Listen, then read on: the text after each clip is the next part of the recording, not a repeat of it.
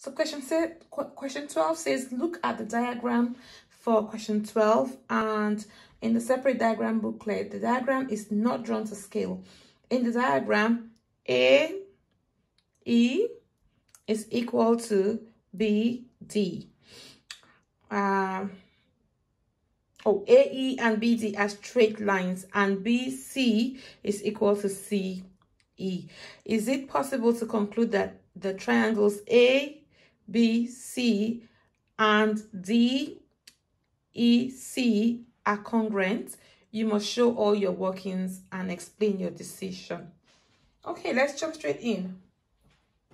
You know that um, to determine congruence, you have to decide um, whether side, side, side are equal or side, angle, side. You got two sides and one angle.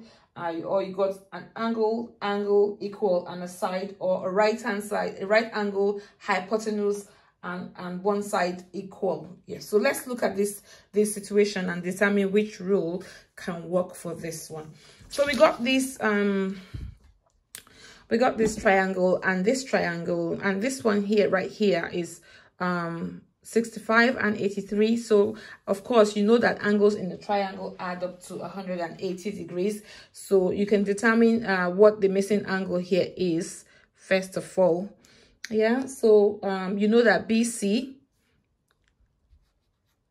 is equal to um, ce okay so that side um, angle AB, angle ABC, therefore, would be equal to um, 180 minus 65 minus 83 degrees. And that's going to give you uh, 32 degrees. And you always have to write your reason, okay? That is angles in a triangle. Okay, um, so this angle here would be 32 degrees. Now, um, you determine that one angle is equal to this angle. So that's two angles equal, two sides equal. And the last thing that we want to do now is determine whether this angle here is equal to that one. Then we can use the angle side angle because then we have this angle, this side, and this angle equal on both triangles. Okay, so um, could that angle be equal to the other one? Let's have a look. Angle BCA is equal to angle ECD. And why do I say so? because they are vertically opposite. If this line, if this is equal to this, then those two are vertically opposite angles, which means they must be equal. Oh.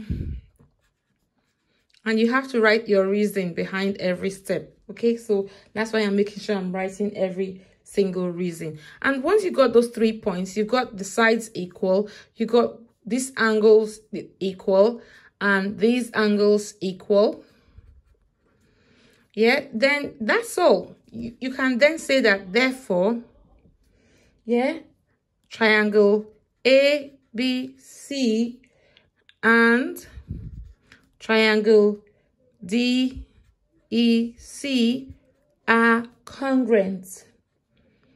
And uh, once you've written that you have to write your reason. Angle side angle. And that's it. Okay how many marks was that question? Oh i don't even know where how many marks that is. Well yeah that's it. That's how you do it